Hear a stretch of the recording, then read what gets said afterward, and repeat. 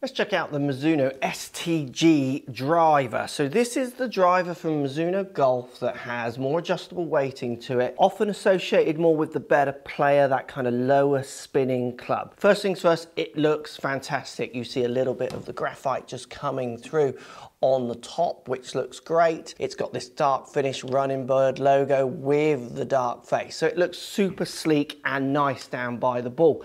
Tech-wise, we get adjustable rails in the bottom. We also get adjustable, extensive adjustable neck. This is a more compact head design. It's 440cc. When you put it down by the ball, it doesn't look particularly small, to be honest, because I think it's quite deep, but you aren't going to game this one if you want the most friendly driver out there. Featuring their forged face, it's very light, it's very fast, trying to deliver those high ball speeds. Also featuring their Cortech chamber for solid feels and great weight just, uh, distribution, again to try and encourage the best ball flight out there. And with the movable tracks, where these weights go from right at the back to nearly right at the front, you can really dial this club in, you can move them separately of each other if you wanted it to be more toe or heel biased. They even come out the back, you can put them both in one slot. Very, very custom customizable driver for the better player. Sounds solid, looks fantastic, looks amazing and feels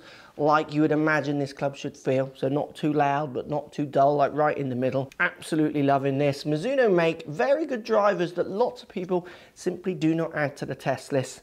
I don't know why. It's probably marketing. That really is as good as anything if you're after that fittable pro style driver.